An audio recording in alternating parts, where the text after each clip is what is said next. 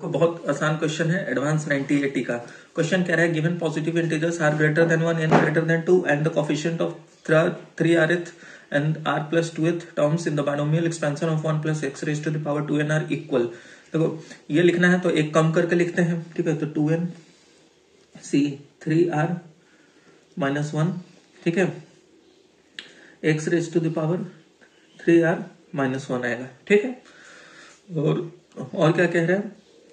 Is equal to इसको भी एक कम करके लिखेंगे तो two n C r plus one ठीक है? X raise to the power r plus one ठीक है? अब यहाँ से इसको सॉल्व करते हैं।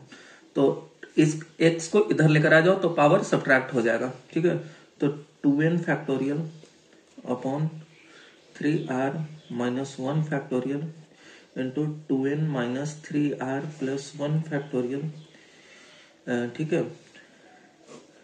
कॉफिशियंट कह रहा है तो इसकी कोई ज़रूरत नहीं है, ये एक्स वाले, ये वाले टर्म की, ठीक है? Is equal to two n factorial upon r plus one factorial two n minus r minus one factorial देखो टू एन फैक्टोरियल से टू एन फैक्टोरियल कट गया।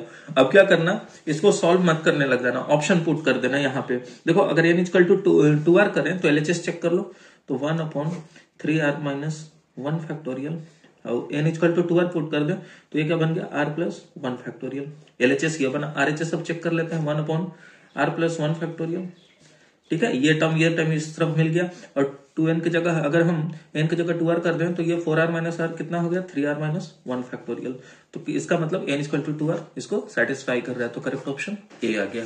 ठीक है?